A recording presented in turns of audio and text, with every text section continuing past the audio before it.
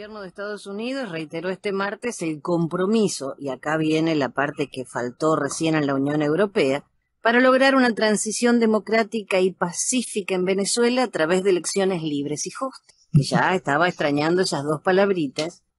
Y también don Capriles dijo que hay que construir el proceso de negociación con el chavismo.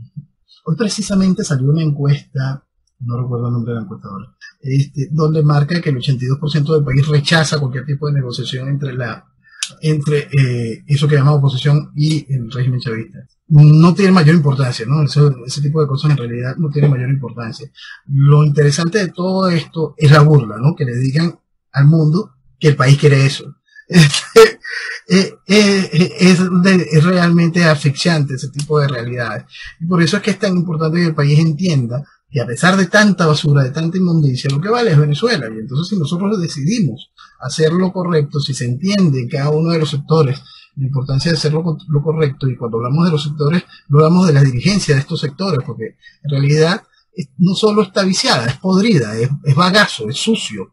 Entonces, si el país termina de comprender y termina de ver este, este reflejo de lo que han hecho con Venezuela y lo que se está haciendo con distintos países, de muchas de las cosas que ya Venezuela experimentó, y entiende que lo que vale Venezuela, la posibilidad que tiene Venezuela para hacer ella misma sus cambios y poder de verdad hacer lo correcto como nación, entenderíamos cuál es el camino a seguir. Por eso es que es tan importante que se identifique a toda esa basura como un todo que tiene que ser puesto atrás para poder conseguirlo mañana. Ahora, Alemania ya no reconoce más a Guaidó, lo dijo el portavoz del Ministerio de Relaciones Exteriores. Y República Dominicana tampoco reconoce a Guaidó, pero tampoco reconoce a la actual Asamblea Nacional.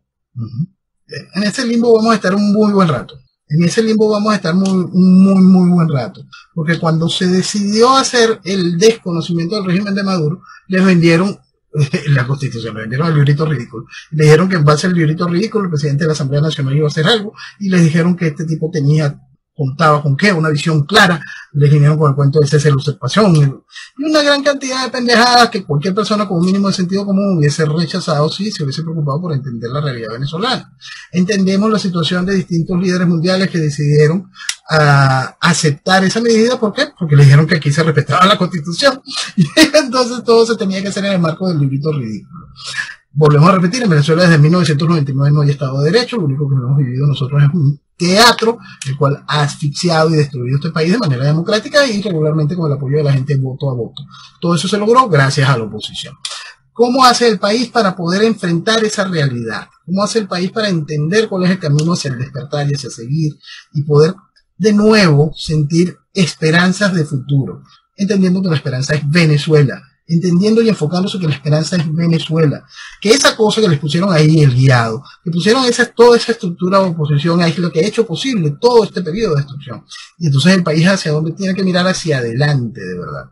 Dejar de querer, creer que esa estructura política que tiene estos nexos extraordinarios con toda la comunidad internacional, quiere algo positivo para Venezuela. No la quiere, no la han querido y harán lo imposible para que no suceda nada positivo con Venezuela. Todos y cada uno, entiéndalo. Todo el que lo llamó a votar después del año 2004 es cómplice directo de esta desgracia. Lo hizo de manera consciente, entiéndalo, más allá de lo político, lo académico, hasta lo religioso. Entiéndalo para que pueda despertar.